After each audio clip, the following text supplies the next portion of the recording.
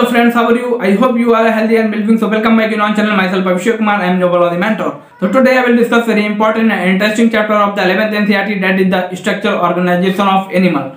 So in this particular video, we discuss which type of animal tissue participate in the forming of animal structure, what is their location and what is their function. So each and everything we discuss in conceptual manners and interesting manner. So I hope you really enjoy this video. So if you like my video, so please subscribe my channel and like share my video with friends. And if you want to join my social media handle, so I provided link in description box and about section my channel. So please go through about section my channel and click the social media icon and join with us. So I hope you really appreciate with me. So watch the video and keep support. So today's topic is anatomy of earthworm. In anatomy of earthworm, basically we discuss about circulatory system in earthworm. Which type of circulatory system found in earthworm? Each and everything we discuss in this particular video. So I hope you enjoy this video तो first period for return in NCERT text book after date elaborate each and thing bill and simple and easy manner so let start so earthworm जो होता है हमारा, इसमें पाया जाता है किस फाइलम में पाया जाता है? जो अर्थवम होता है हमारा, सबको पता है, मैंने बहुत अच्छे से बताया है, जो अर्थवम होता है वो फाइलम एन लीडा का मेंबर होता है, ना? एन लीडा का मेंबर होता है। फाइलम एनलीडा में पाया जाता है। और फाइलम और इसकी जो क्लास होती है ना ऑलिगो कीटा होती है। इसकी क्लास जो होती है क्लास क्या होती है इसकी? ऑलिगो कीटा होती है। इसकी क्लास जो होती है ऑलिगो कीटा होती है। फाइलम एनिलिडा के मैंने आपको सारे कैरेक्टर्स बताए थे, है ना? इसमें किस टाइप का सर्कुलेटरी सिस्टम होता है? फाइलम एनिलिडा था इसमें first time close circulatory system देखा गया था। उसके बाद फाइलम एनिलिडा के बाद आर्थोपोडा मोलस्का इन सब में हमारा ओपन टाइप सर्कुलेटरी सिस्टम होता है, जो आर्थोपोडा होता है, उसमें अनएक्सेप्शनल यानी विदाउट एक्सेप्शन के ओपन टाइप सर्कुलेटरी सिस्टम होता है। और हमारा जो इसमें एनिलिडा में होता है, इसमें एक एक्सेप्शन है। इसमें एक एक्सेप्शन क्या है? एक्सेप्शन यही है कि इसमें जो लीच होती है है ना? ब्लड सकिंग लीच वो हमारी होती है close sorry open circulatory system है ना? बाकी एनालिटिक्स में तो क्लोज सर्कुलेटरी सिस्टम पाया जाएगा बट जो लीच होगी उसमें ओपन सर्कुलेटरी सिस्टम पाया जाएगा, क्योंकि इसमें एनालिटिक्स में एक्सेप्शन है। ठीक है, देख लेते हैं टेस्ट में क्या लिखा है। सारी चीज़ें आपको समझ आएँगी। तो पेरिटीमा पेरिटीमा का नाम अर्थवम का साइंटिफिक नेम है, ठीक है? ये अर्थवम का नेम है ना?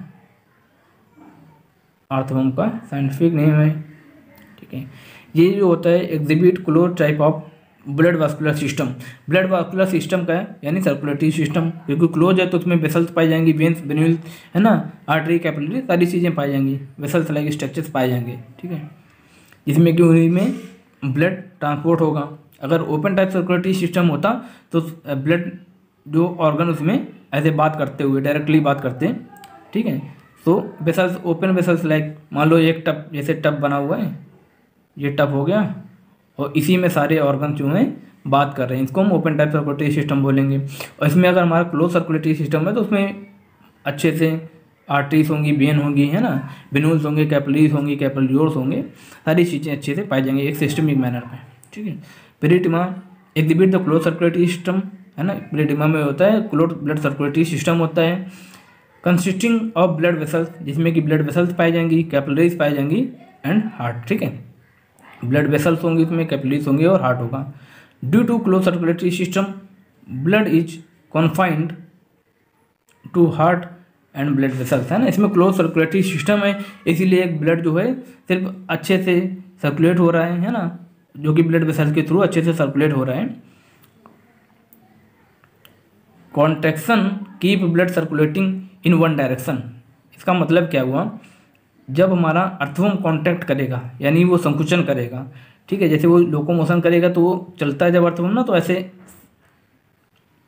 मतलब थोड़ा लहर से, है ना मतलब एक ऐसे ऐसे थोड़ा मूवमेंट करता है, रेंगता है जब क्रॉल करता है तो इसमें एक मूवमेंट होता है। मूवमेंट क्यों होता है इसमें? है ना, इसकी बॉडी में हाइड्रो हाइड्रो स्केलेटल बोलते हैं ना, इसकी बॉडी में स्केलेटल तो होता नहीं है, इसकी बॉडी में हाइड्रो स्केलेटल होता है। ठीक है, पानी से भरा हुआ स्केलेटन मतलब इसकी बॉडी में जो होगा वाटर का एक स्केलेटन होगा, जिसको हम हाइड्रोस्केलेटन बोलते हैं, वही हमारा इसमें लोकोमोशन में हेल्प करता है है ना? सो कॉन्ट्रेक्शन की blood circulating in one direction जब ये अर्थवम कॉन्टैक्ट करता है तो इसका जो ब्लड होता है, एक वन डायरेक्शन में सर्कुलेट होता है। वन डायरेक्शन का मतलब है इसमें डायरेक्शन किस डायरेक्शन में होगा तो वो एंटी क्लॉकवाइज में होगा, ठीक है? एंटी क्लॉकवाइज डायरेक्शन में होगा स्पेशली एंटी क्लॉकवाइज डायरेक्शन में होगा। अगर क्वेश्चन में पूछा जाए कि contraction of earthworm circulating blood in which direction so हम आंसर करेंगे एंटी क्लॉकवाइज डायरेक्शन है ना?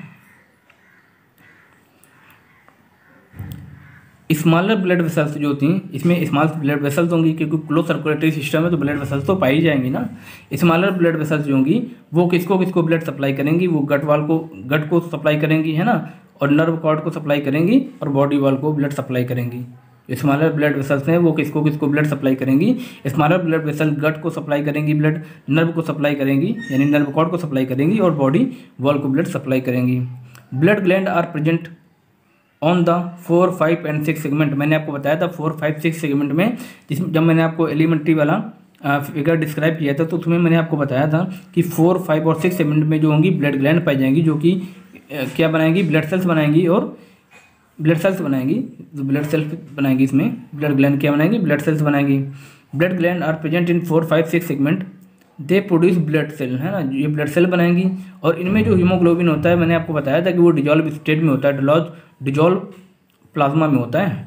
Haemoglobin which dissolve in blood plasma यानी ब्लड प्लाज्मा में हीमोग्लोबिन इनका डिजॉल्व होगा।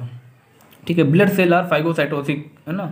Blood cell are phagocytic phagocytic का मतलब होगा इनका जो नेचर होगा ना, ये किसी को किल करेंगी। किल करेंगी यानी इसमें क्या होगा? डब्ल्यू बी सी पाए जाएँगे।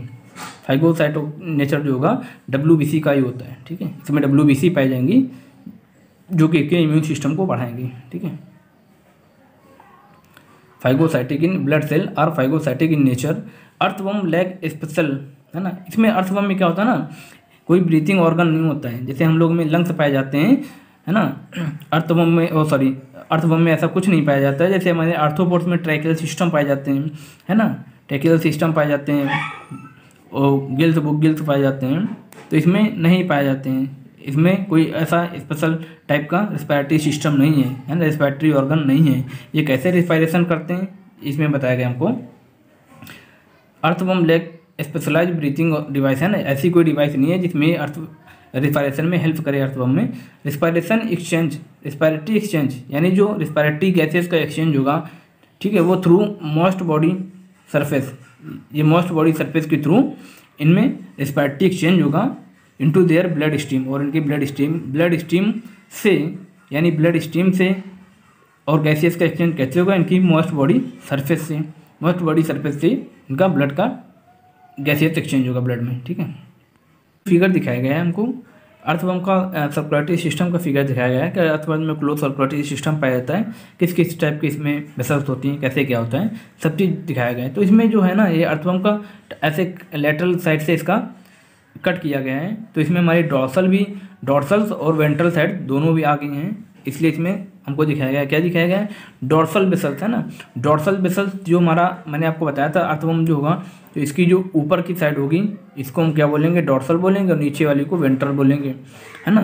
तो वही दिखाया गया है। ऊपर जो डॉर्सल बेसल्स हैं और नीचे क्या है? वेंट्रल बेसल्स हैं। डॉर्सल बेसल्स कहाँ से कहाँ तक पाई जाएगी?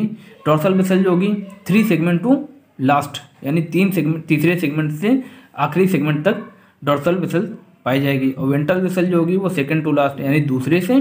तो यहाँ पे ये जो डॉर्सल स्टार्ट हुई है, वो तीसरे से स्टार्ट हुई है और जो वेंट्रल स्टार्ट हुई है, वो कहाँ से हुई है? वेंट्रल स्टार्ट हुई है, वो दूसरे से स्टार्ट हुई है। ठीक है? उसके बाद इसमें क्या पाया जा रहा है? लेटरल हार्ट ये जो हमको दिखाया गया ना, ये हार्ट है।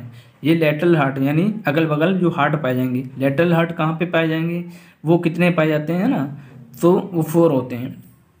सेवन में, नाइन्थ में, ट्वेल्थ में और थर्टीन में। इन सेगमेंट में जो होंगे, वो हार्ट पाए जाएँगे लेटल हार्ट पाए जाएँगे।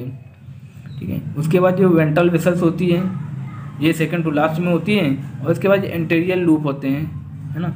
ये एंटेरियल लूप होते हैं। और जो एसो लेटल एसोफेजियल हार्ट होते हैं लेटल साइड में एसोफेजियल रीजन में जो पाए जाएँगे, वो वो भी हार्ट होते हैं। और इसमें क्या है ना लेटरल एसोफेजल बेसल्स पाई जाती हैं। ये एसोफेगस रीजन पे जो लेटरल साइड में वेसल्स पाए जाएँगे, उनको लेटरल एसोफेजल बेसल बोलते हैं।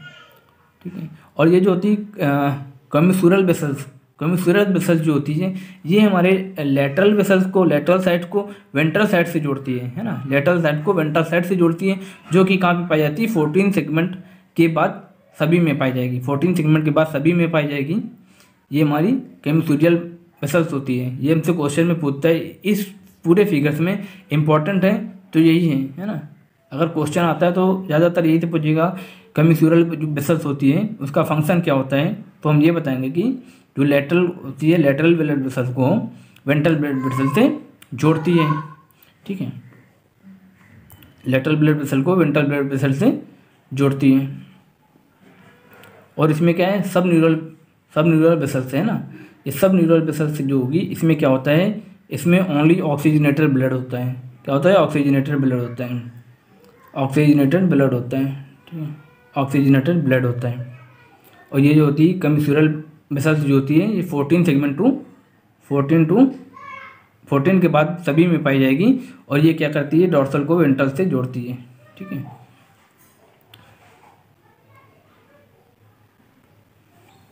तो फ़िलहाल हमने अर्थवम का सर्कुलेटरी सिस्टम भी देख लिया, है ना? अब मिलते हैं नेक्स्ट वीडियो में, फ़िलहाल इस वीडियो में इतना ही।